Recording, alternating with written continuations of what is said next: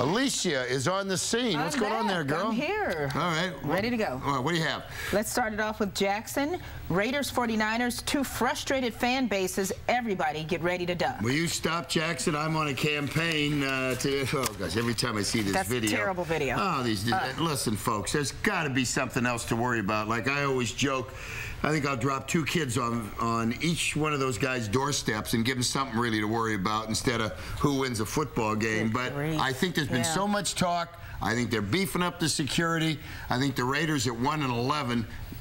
A lot of people think, well, then you're ready to fight. You're so Yeah, frustrated. exactly. But on the flip side, I think your emotions are, oh, you know, if you're if they're both great teams, then you get, I think everything will be subdued. Let's hope. I'm predicting no major violence. Okay. Yeah. All right. What do I know? But I'm that. predicting it. All right. Captured. Okay. Okay, JD, if Kaepernick doesn't want to talk to the media, he shouldn't have to.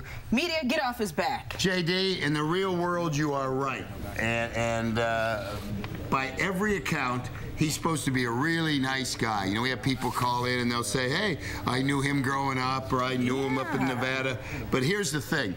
If, if he was just being himself, great, don't talk. But I think this is when you start giving one-word answers. It's like, well, I'm going to really come out today and stiff these guys. So that, that's all I'm saying. words. If you're, if that's your real personality, and you don't feel like talking, hey, you got to be you, right? But if you have to think about it, I'm going to get at a writer from the Santa Rosa Press Democrat by giving him one-word answers. You shouldn't have to do that. Plus, you know, you make all that money. I think the world works this way. You're blessed to have worked hard, to get a good job.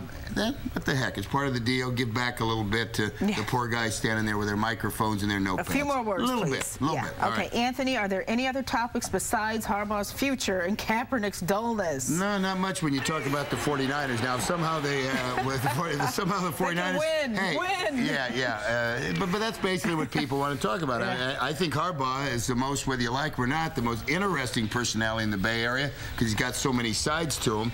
And uh, if somehow they happen to lose on Sunday, that's going to be that'll rev up right to the right to the top. Okay, all right, Miles. Billy Beane is drunk with power, trading away the team's best player, Josh Donaldson. Hey, Billy, nobody pays to see you. Yeah, I mean, hey, it'd go to my head. If I looked up on a big screen and there's Brad Pitt playing me, I think I could do something too. But hey, listen, you hear all the things. The Giants have the money, the Giants have the audience, the Giants have the television ratings, and Billy, you know, he starts to think, hey, I'm keeping this team together by a little move here, a little move there. But trading your best player, that shocked a lot of people. I All think right, it did. And there. Dan, why didn't you work Thanksgiving?